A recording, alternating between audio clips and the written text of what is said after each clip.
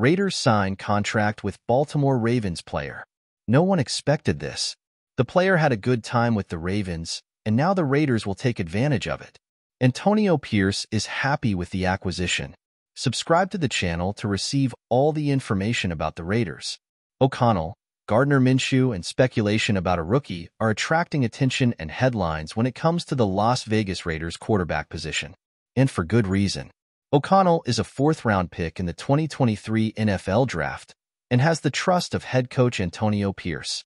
Minshew is a new free agent signing a two-year, $25 million contract, $15 million guaranteed with a $6 million signing bonus from the Indianapolis Colts. And of course, the rampant rumor about the Raiders eyeing and potentially drafting a prospect in the upcoming 2024 NFL Draft. The forgotten name, Anthony Brown Jr. The 25-year-old signed a reserve slash future contract with Las Vegas among a number of other players Brown's NFL career has predominantly been as a practice squad player for the Baltimore Ravens. He signed with the team after going undrafted in 2022 and went from active to taxi squad before being released in September 2023. Brown has just one career start to his name, two career games played a Week 16 where the Ravens lost to the Cincinnati Bengals 27-16. Brown was 19 of 44, 43.18%, for 286 yards with zero touchdowns, two interceptions, while absorbing four sacks. The other action he saw that season was 3 of 5, 60%, 416 yards in a brief Week 12 appearance in the Ravens' 16-14 victory over the Pittsburgh Steelers. Which raises the question, can Brown enter the quarterback competition in Las Vegas? The answer, maybe.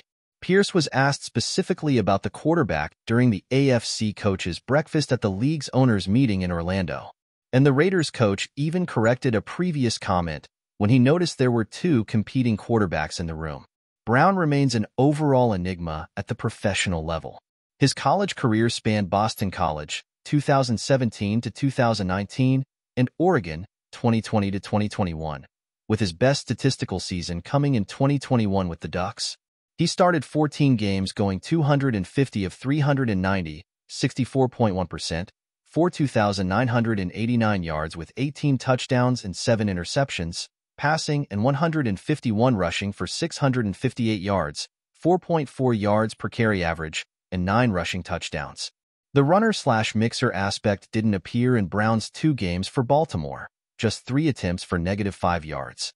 However, Pierce spoke highly of Brown's workout with the Raiders before signing a contract and noted that the 6'2", 228-pound quarterback offers athleticism for a dual-threat type signal caller. In fact, a running quarterback is the type Pierce hated facing during his career as a linebacker. Interestingly, Brown recorded an unofficial 4.7, 1 second 40-yard dash time at Oregon's Pro Day. Meanwhile, O'Connell ran the 40 in 4.70 seconds at Purdue's Pro Day, also unofficial. Make of that what you will. Minshew clocked a 4.9740 when he ran it at the 2019 NFL Combine. And again, if it's a rookie, if it's Aidan, if it's Minshew Brown, we're going to put in the best player that gives us a chance to win, Pierce noted.